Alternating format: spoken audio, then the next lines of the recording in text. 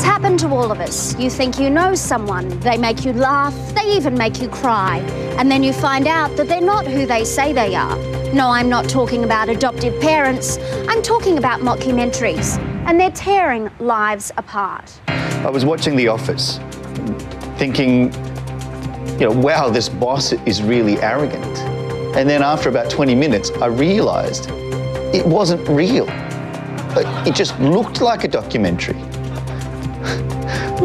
Why would you do that? Statistics show that mockumentaries make up a staggering 50% of Australian TV comedy, more than double the next category, footballers talking shit. And ordinary Australians like Justin just don't know what to believe anymore. So afraid of what's real and not real, Justin hasn't left his home in nearly six months. You go into a butcher shop and you think, yeah, is this really a butcher shop? Or just some wacky take on a butcher shop? You, you can't trust anything anymore. Where's the line? So you're a prisoner in your own home, a prisoner to mockumentaries. I'm trapped in a house with, with no contact with the outside world. You know, what are these TV types going to do about that? Make a TV show about it? I wouldn't put it past them. So, just who are the perpetrators of this fraudulent art form? So called comedians who don't even have the guts to play themselves. Richard Lakowski has written several mockumentaries for film and television. Look, I don't see what all the fuss is about. It's simple economics. In the old days, you needed two actors talking to each other, doing uh, dialogue.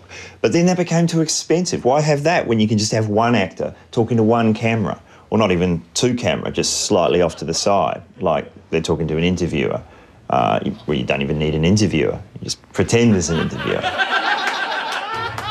Actor Kate McLennan goes one step further. She says people like Justin only have themselves to blame. Look, it's my job to inhabit a character. If people forget that it's just acting, well, that's not my fault. Do you really think viewers are that stupid? Yeah, I do. They're idiots. Well, how do we know that you're not playing a character now? Well, because I'm speaking normally. You can spot a mockumentary character a mile off, you know, the glances off to camera, the overuse of cliches. You know, does it end with a shrug and an offhand comment that the character didn't intend the viewer to hear? Stupid mole. Sorry, what was that? Nothing. But what stuck up bitches like Kate McLennan don't realise is that her excuses don't undo the damage done to the little people like Justin. It's just not fair.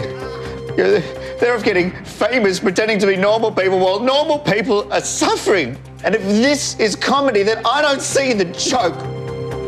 This is Kate McLennan for The Mansion. Cut. Not too much. No, it was good. That was That's good. good. Really good.